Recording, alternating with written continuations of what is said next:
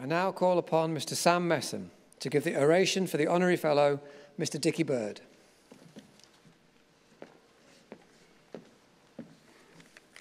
Chief Executive Officer, Provost, Principal and Chair, the Corporation has resolved that the Honorary Fellowship of Bradford College be conferred upon Dickie Bird.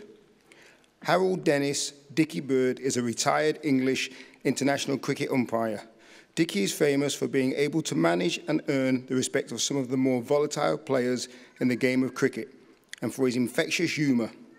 Dickie Bird, OBE, is one of the nation's most highly respected and much loved sporting personalities. Born Harold Dennis Bird in Barnsley, South Yorkshire in 1933, Dickie gained his famous nickname whilst he was at school. After leaving Raley Secondary Modern School in 1948, aged 15, he followed his father, a miner, into the local coal industry, briefly working as a fitter, but gave it up, deciding it was not for him. Instead, sport was to be his choice of career. Playing both football and cricket, he signed for Barnsley FC as an inside right. A knee injury at the age 16 prompted him to stop playing football and pursue cricket, as he thought it would give him a longer career. He signed for Barnsley County Cricket Club, where he was opening batsman alongside Geoff Boycott and journalist and chat show host Michael Parkinson, who became a lifelong friend. A staunchly proud Yorkshireman, Dickie made his county championship debut on 16th of May 1956, where his side Yorkshire beat Scotland by innings and 145 runs at the Circle in Hull. He played first-class cricket for the next eight years for Yorkshire County, from 1956 to 59 and for Leicestershire between 1959 and 64. Following his retirement as a batsman, Dickie became a coach and ultimately an umpire in 1970. It is, it is his career as umpire that propelled Dickie to become the national treasure he is affectionately considered today. His engaging personality and infectious humour make it impossible to say his name without smiling. An acclaimed and entertaining public speaker, he recalls many anecdotes of his career. The inaugural Cricket World Cup in 1975 saw a pitch invasion by spectators who keenly took clothing from players and the umpires as souvenirs. The following year, on a London bus, Dickie was amused to see the conductor wearing a white hat just like his own and inquired from where he had got it. The conductor proudly retold the story of running onto the pitch at the World Cup final and taking the hat straight from the head of Dickie Bird. At his final test match at Lords in 1996, he came out to a guard of honour formed by the playing teams, England and India, and an emotional standing ovation from the crowd. This was the 66th test match Dickie had umpired, a world record at the time. In 2012, Dickie was recognised for his contribution to the sport when he was awarded an OBE. In 1996, his retirement saw him voted Yorkshireman of the Year, having earlier been Yorkshire Personality of the Year in 1977. In 2009, his hometown of Barnsley unveiled a bronze statue of its famous cricketing son. The life-size artwork shows the legendary former umpire raising his index finger to indicate a batsman is out. A famous personality, Dickie has been a guest on Desert Island Disc and appeared on A Question of Sport. Dickie wrote his autobiography, which sold over a million copies, and a sequel, White Cap and Bails, Adventures of a Much-Travelled Umpire, in 1999. He was appointed MBE in 1986 and OBE in 2012 for his services to cricket and charity. He is the patron of the, of the Barnsley Multiple Sclerosis Society, and founded the Dickie Bird Foundation to help less fortunate young people to play sport. The foundation offers support for disadvantaged young people under the age of 18 to participate to the best of their ability in the sport of their choice, irrespective of their social circumstances, culture or ethnicity. In 2014, he succeeded Geoffrey Boycott, OBE, as president of the Yorkshire Cricket Club. He says that in his, he, that never in his wildest dreams did he think that he would become the president of the greatest cricket club in the world, and that he was honoured, very humble and proud. In 2015, he returned the honour bestowed on him by funding a player's balcony in Yorkshire County Cricket's home, Headingley, which now proudly carries his name. Dickie, currently serving his second term in office as club president, added, Yorkshire cricket is my life. I watch every match and the team gives me so much pleasure. It is going to be wonderful seeing the players using the new balcony. I do hope my little bit of giving something back will increase their chances of winning back-to-back -back county championships and the possibility of progressing in the 50-over competition. Fellow Yorkshireman, television journalist and broadcaster and Bradford College Fellow Harry Gration, on hearing that Dickie had been awarded a Bradford College Honorary Fellowship, said, Dickie sums up everything that is special about being a Yorkshireman. I love his sense of humour, his commitment to giving something back to society and the very close friendship we have forged over many years. A man you can rely on and trust and who tells it just as it is. Chief Executive Officer, Provost, Principal and Chair, I present to you Honorary Fellow Harold Dennis Dickybird. Bird.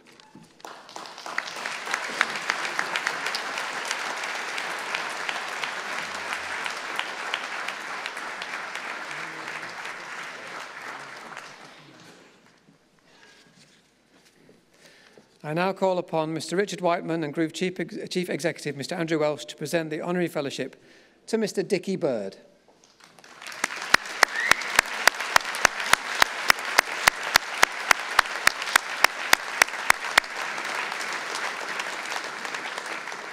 And I invite Mr Bird to address our graduates and guests.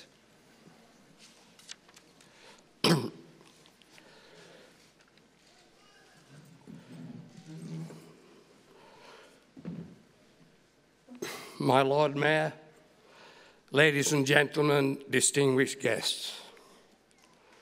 I can hear you, but I, I can't see you. it's bad light. it gives me great pleasure to be here this afternoon. and I'll, I can't, with this gown, it keeps dropping off.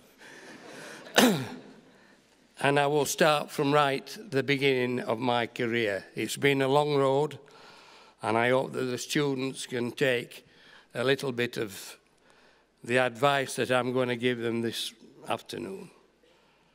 It all started as a young lad with Barnsley Cricket Club, where I opened with a chap called Sir Michael Parkinson, and we had a young lad who was still at school called Geoffrey Boycott.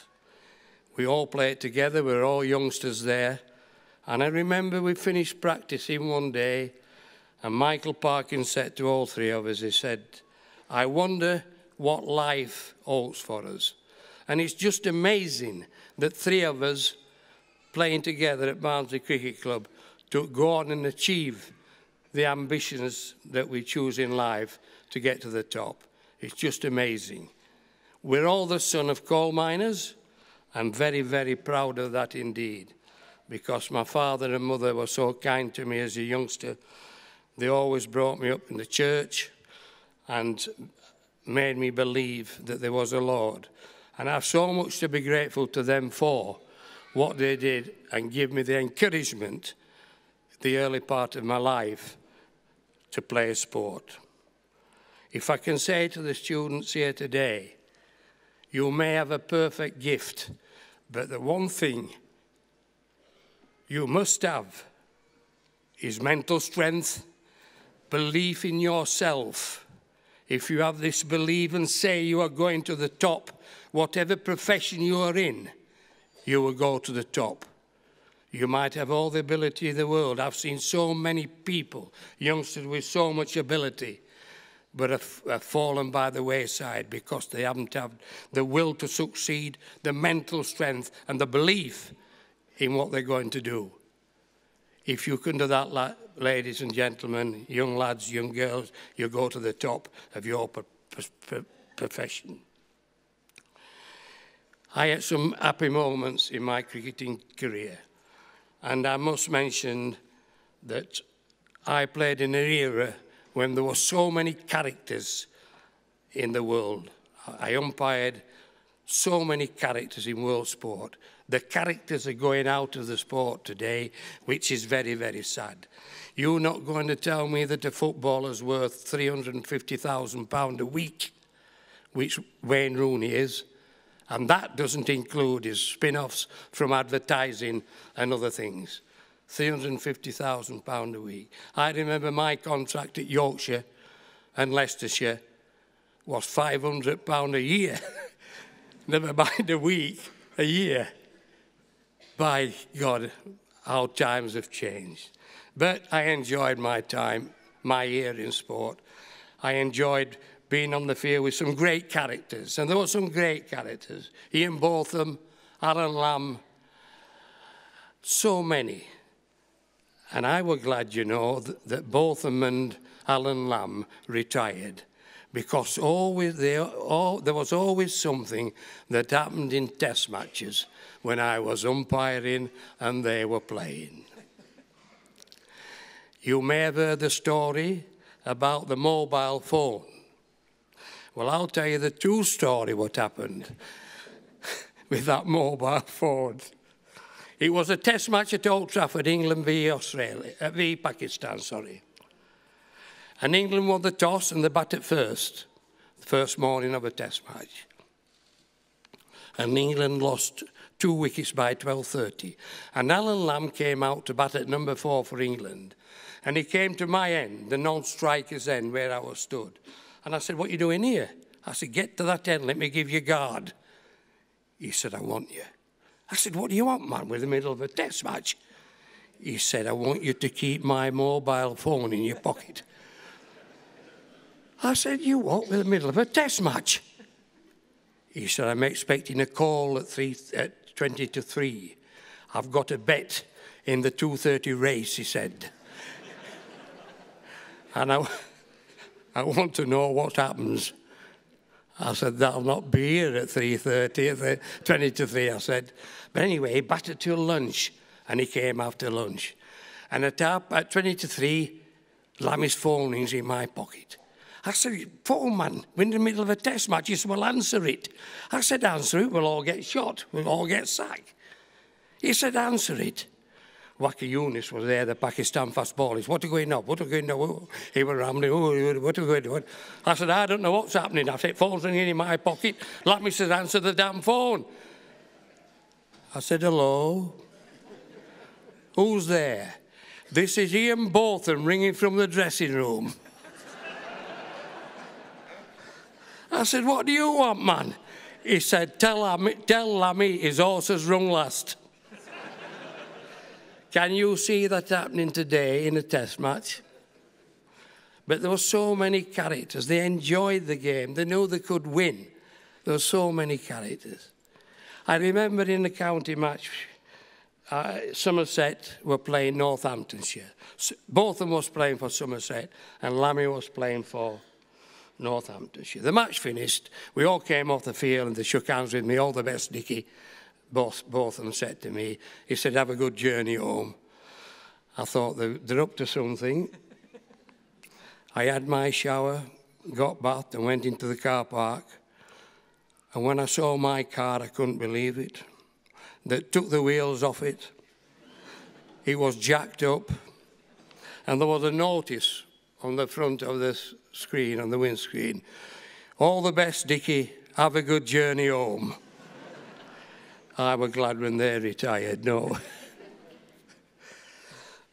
but as the uh, introduction to me, as Sam said, yes, becoming president of Yorkshire County Cricket Club is probably one, one of the greatest honours and the pinnacle of my career. Never in my wildest dreams that I would become president of Yorkshire County Cricket Club. As a young kid of 16 years of age, walking those, through those gates at Edinley, walking through those gates, I was so proud as a 16-year-old lad to have my first practices for Yorkshire. I never thought that one day I would become president of the greatest county cricket club in the world. I remember I'm name dropping now, Don, Sir Donald Bradman. I had lunch with him when I was umpiring a test match in Adelaide. He invited me to have lunch with him. And during lunch, he said to me, Dickie, he said, the greatest club in the world, Yorkshire County Cricket Club.